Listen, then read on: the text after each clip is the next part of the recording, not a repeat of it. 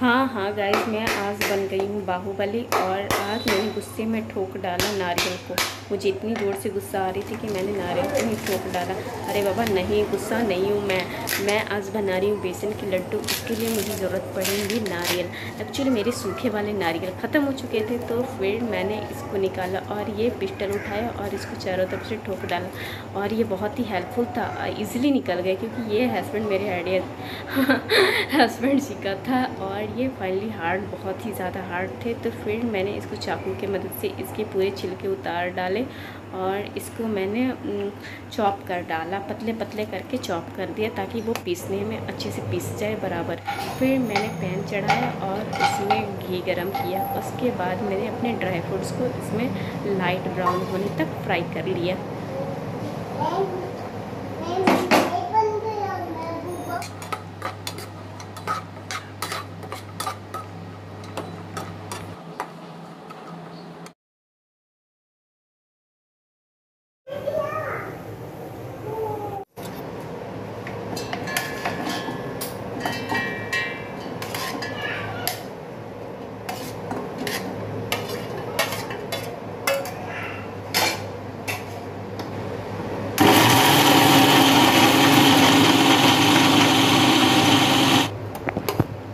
बाद ठंडा होने के बाद मैंने मिक्सर उठाया और इसको फाइनली पेस्ट बना दिया। और ये अच्छे से बारीक पीस लीजिएगा आप सब, क्योंकि इसको डालने है बेसन में और अच्छे से इसको फेंटने इसी के कारण। उसके बाद मैंने कटोरी लिया, दो कटोरी और चीनी शक्कर को भी मैंने फाइनली फाइन पेस्ट बना लिया था और उसके बाद मैंने घी गरम कर लिया और इधर हमारे बेसन है और मैं इसमें दो चम्मच बेसन ऐड करूँगी। इसमें सही चीज़ ये है कि आपकी मेज़रमेंट सही रहेगी तो परफेक्ट बन के तैयार होंगी। तो फिर इसमें मैंने दो बड़ी चम्मच डाल दिए थे और इसको मैं कंटिन्यू चलाती रहूँगी जब तक कि ये कलर चेंज ना हो जाए इसकी। और बेसन अपना तेल ना छोड़ दें। मीन्स घी और बेसन अलग ना हो जाए। तब तक इसको कंटिन्यू आप चलाते रहिएगा और इसको लो मीडियम फ्लेम पे ही चला रखिएगा, एकदम मीडियम आँच पर, ताकि ये बराबर अच्छे से भून सके। और इसके बाद भुनने के बाद इसकी अलग ही खुशबू आने लगती। खुशबू सुनकर मेरे बेटे दौड़े आ गए इसकी महक सुनकर और उन्होंने बोला कि, मम्मा, मुझे भी ये करना है। तो फिर मेरे हेल्प कर रहे थे मेरे बेटा। और ये उसको भी कंटिन्यू चला रहे थे। इसको अच्छी लग रही थी। और फाइनली गैस ये हमारा कलर बन के रेडी हो चुका है। और इसको थोड़ा सा ठंडा होने के बाद मैंने ड्राई फ्रूट्स डाला, शक्कर डाला और इसको बराबर हाथ से मैंने फेंटा। मतलब बराबर हाथ से कहे तो मतलब दोनों हाथ से मैंने लिया और इसको अच्छे से बेसन में इसको दोनों हाथ से फेंट लिया। उसके बाद मैंने बाइंड करके देखा कि अच्छे से बन रहे कि नहीं। हाँ परफेक्ट मेरे बन रहे थे क्योंकि मेरी मेज़रमेंट बहुत ही अच्छी थी।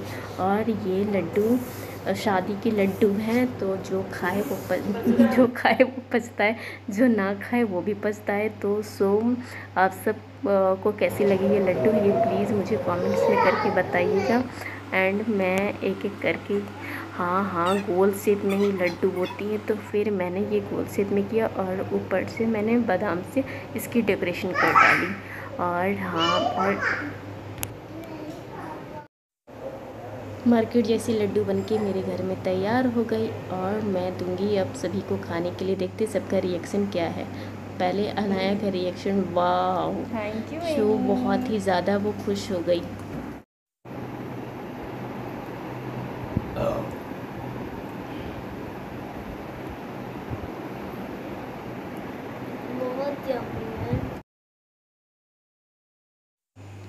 सबकी रिएक्शन वाव थी और ये मेरे हस्बैंड बोले सुपर से भी ऊपर वाला।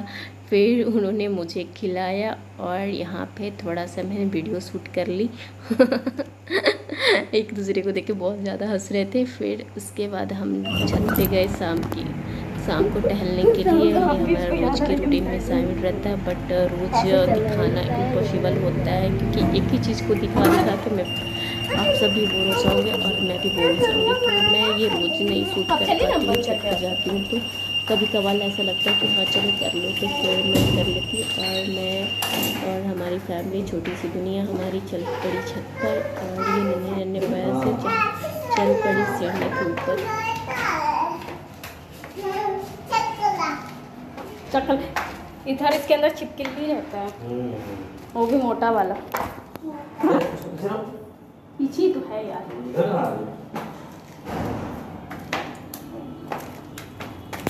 पहले से दो।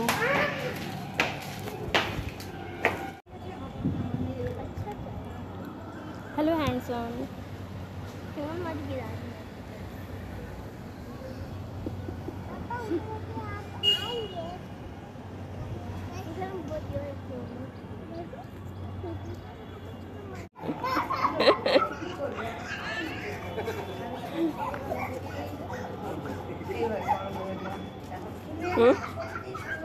আমাদের কথা শুনবে না যদি ওর মা মেরে বলে তাহলে ঠিক কিন্তু हो गया ए बेटा पकड़ ए आराम से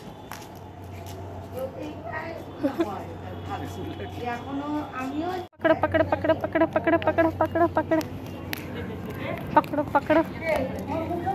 पकड़